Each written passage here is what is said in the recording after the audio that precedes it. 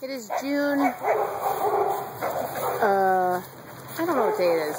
June something, rather. It must be the 9th. I'm in Washington, Humane.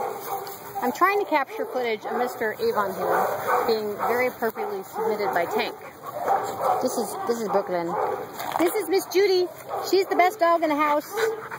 Right? She's a nurse mama, boss mama. Very good communication skills. Very appropriate dog. She's a little pocket pit. Oh, and she's just the best. This is Miss Cocoa Puff.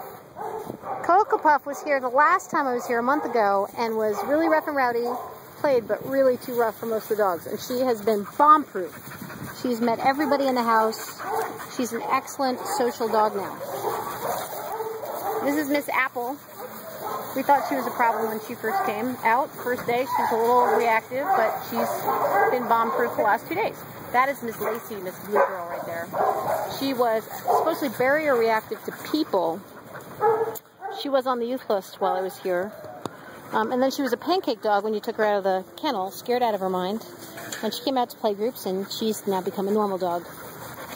And she is no longer on the euth list. This is Miss Parker. Pain in the butt Parker. Pia Parker.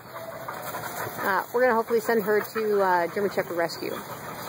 Uh, she's very skittish and shy, all kinds of stuff. Uh, that little blue puppy, that is Pinky.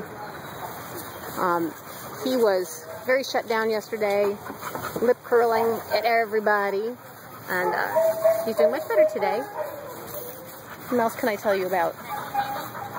That brindle girl is Miss Estrella. She was here last time I was here. Um, she's bomb-proof.